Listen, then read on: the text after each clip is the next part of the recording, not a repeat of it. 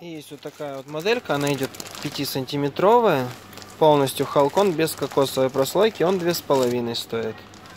Вот этот 2,5, а вот этот кокосовый, он 10 сантиметровый с кокосовой прослойкой, он 3500 стоит.